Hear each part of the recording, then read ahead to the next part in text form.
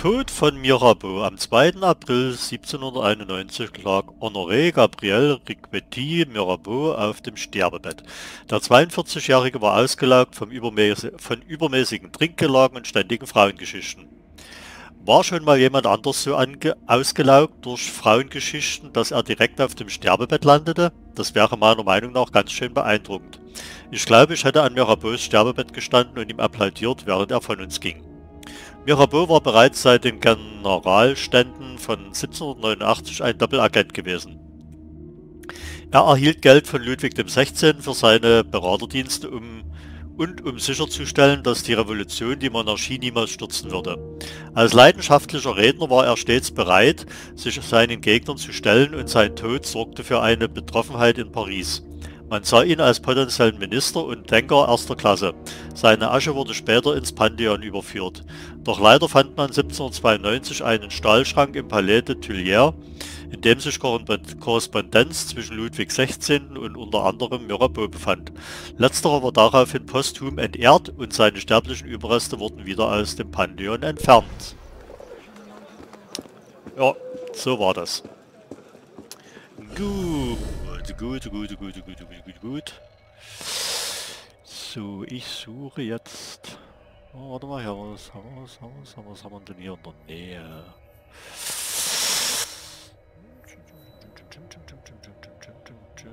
Den Anführer eines Rings. Okay.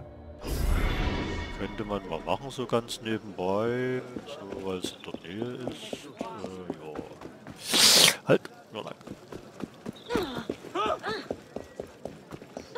vraie nuée de moineaux. Encore un fou Ceci, monsieur. Hier mal kurz durch.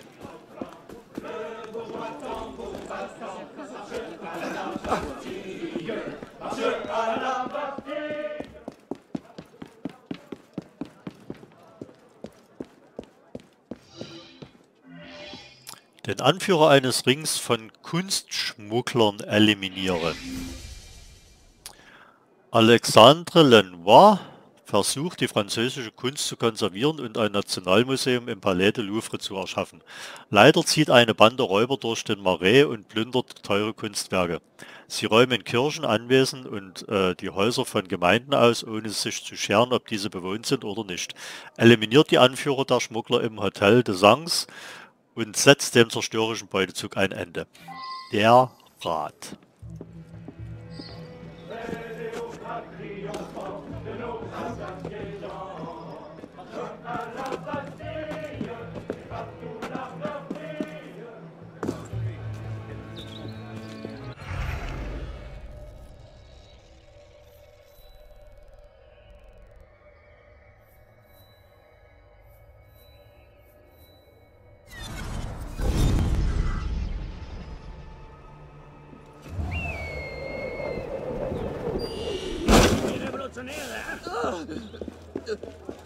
Es, in mein Haus zu kommen? Spielt nach unseren Regeln oder...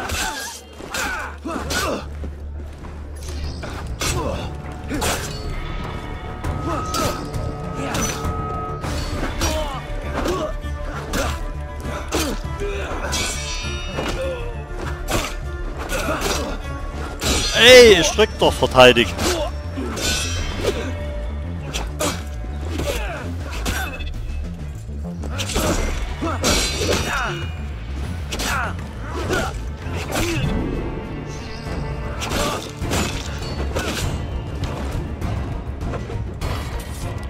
Doch verteidigt. verstehe. Ich hatte doch aber meine Neuerwerbung ausgerüstet.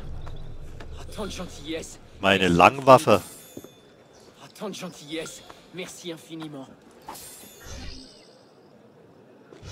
Hä? Wo ist denn die? Das verstehe ich jetzt nicht.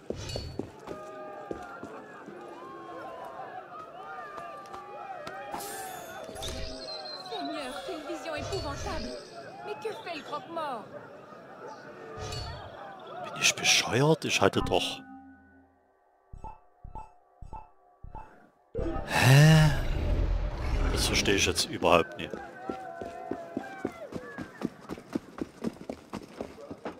Wieso?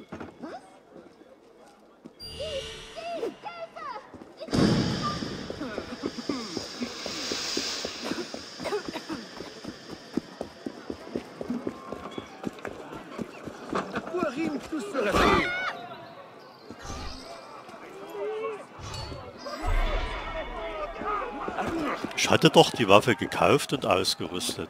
Das verstehe ich jetzt echt nicht. Das ist mir echt zu hoch.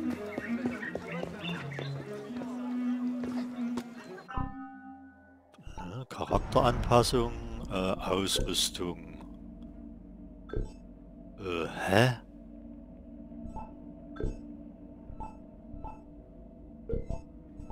Ausrüstung, Sie müssen einen... Ach, ach so, okay.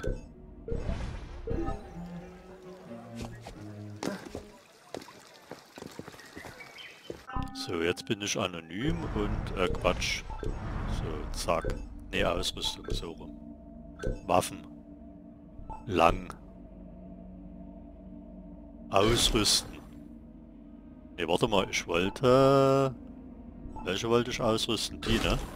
Genau.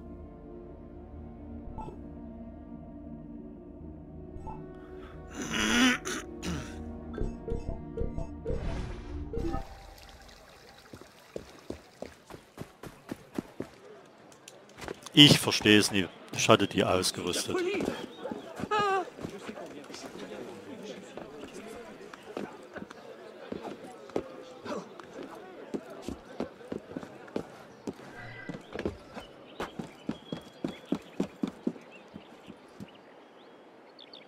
Ach, da ist er.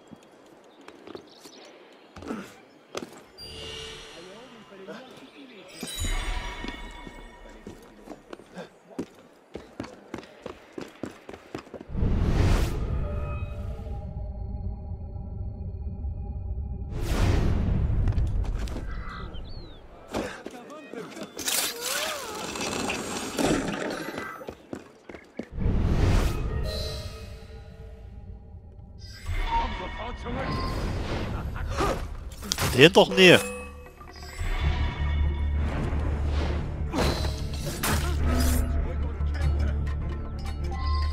Was war das denn?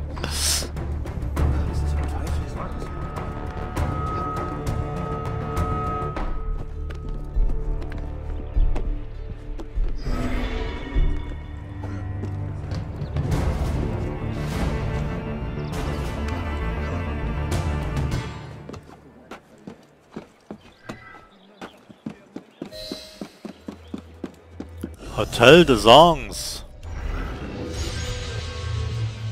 Die Diebeskunst der Kunstdiebe abgeschlossen.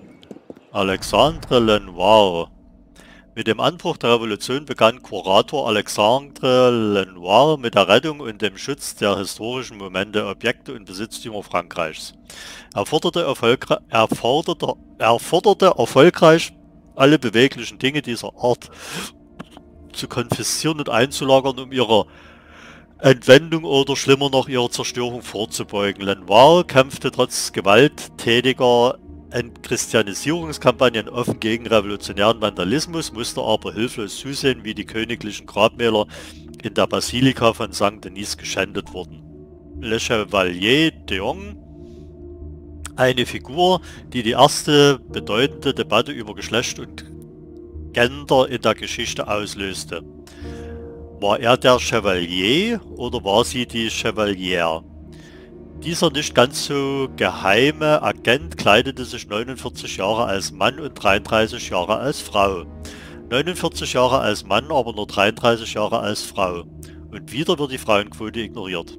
In einem Zeitalter, in dem Verkleidungen der letzte Schrei waren, gab der schlank gewachsene Charles de Beaumont, Chevalier de Jong, auf einem Maskenball sein Debüt als Transvestit.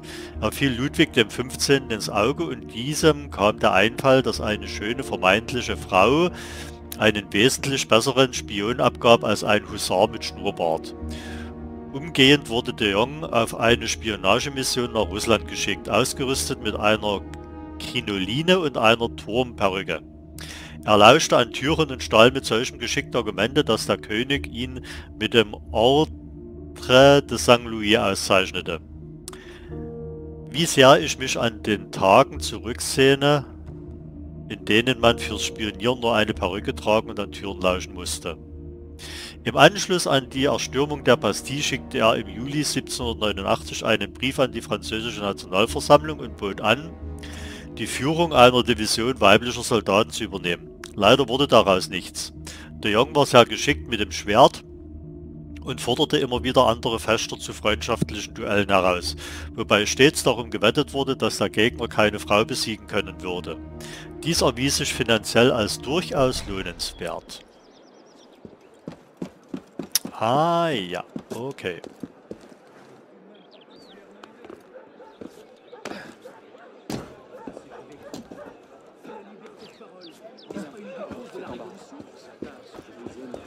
So, was erwartet uns hier?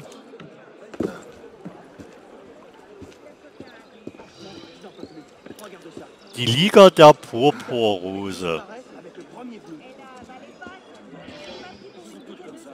Die Dankbarkeit der rätselhaften Purpurrose gewinnen.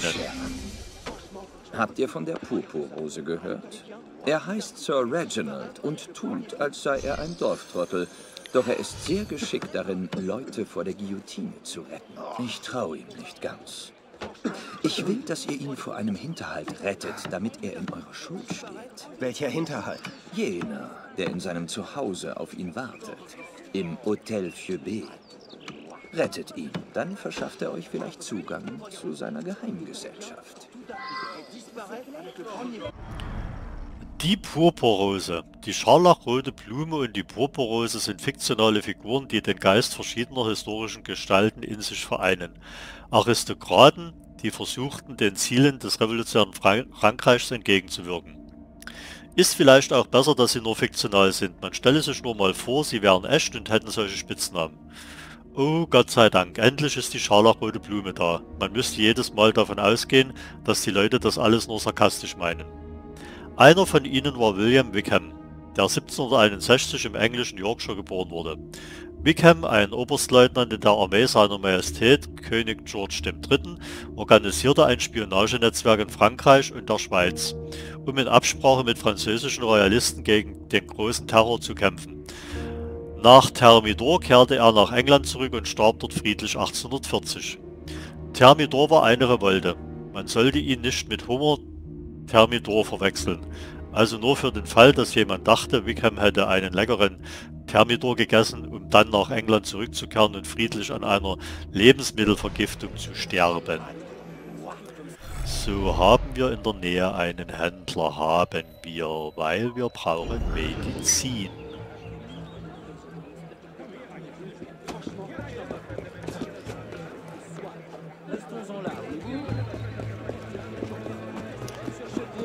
Den Umweg müssen wir jetzt machen, das nützt nichts.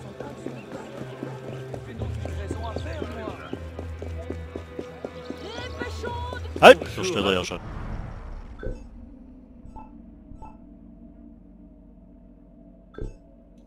Naja, füllen wir eben eine Rauchbombe auf.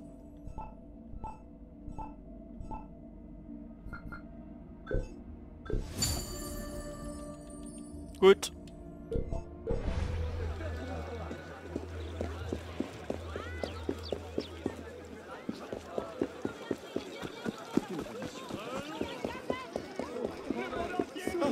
Poser cette agitation.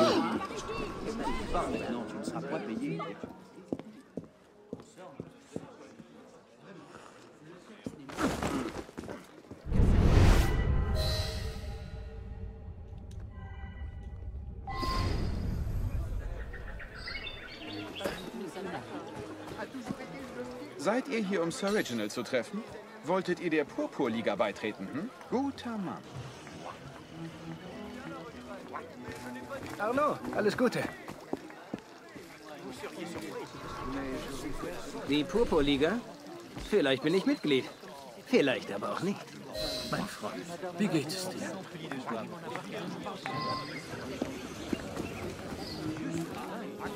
Ein Hinterhalt? Ich darf nicht verhaftet werden, wo doch eben alles so läuft wie geplant. Ihr, Sir, helft mir, sie zurückzuschlagen und seid meiner Dankbarkeit gewiss. Hat gerade jemand gepupt? Ihm nach, Männer! Tötet!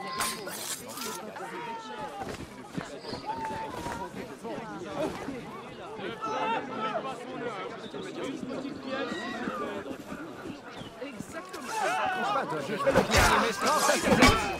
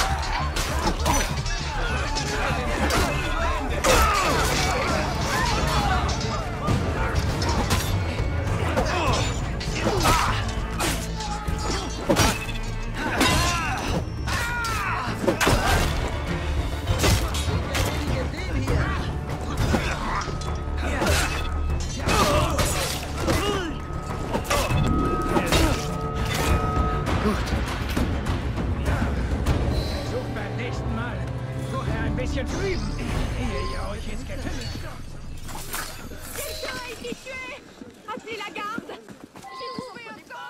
Wir haben ein gemeinsames Ziel. Entspannt euch. Was ist los?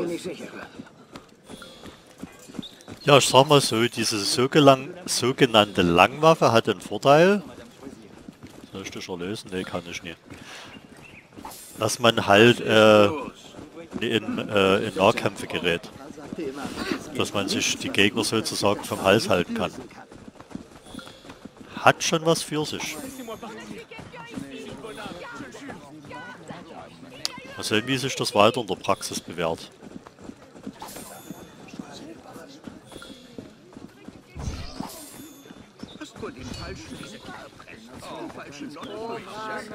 L'heure. Faut vite te conduire à Villiers, toi. Seigneur, mais que se passe-t-il donc Halt! Da hoffen wir, dass wir noch ein Fläschchen Medizin arbeiten.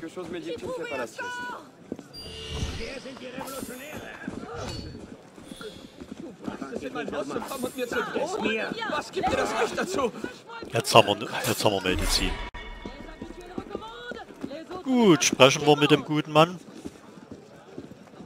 Gut gemacht. Ihr scheint die Sorte Mann zu sein, die ich in meiner Organisation brauche. Ich werde bald auf euch zurückkommen. Okay.